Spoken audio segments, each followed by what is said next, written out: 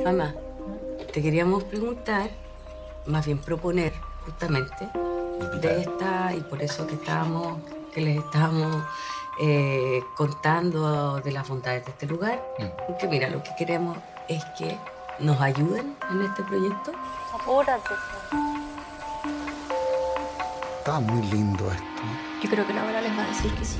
Ni cagando, la abuela es así. Oiga, Puede ser un buen negocio, yo no, no se lo voy a discutir porque nosotros no entendemos tanto de hotelería tampoco, no es que, no es que estemos en ese negocio. ¿Me querías weón? ¿Te gusta su aire? Es que si estoy comiendo es raro. Nicolás, ¿quieres vino? muchas gracias, hija.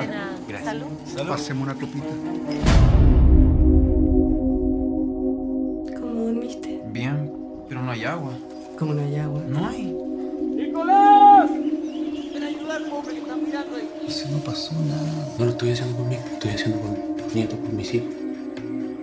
Este es un problema de clase, de pertenencia, no sé. ¿Y cuál eliges tú? Eh, está muy súper. Era esa. No.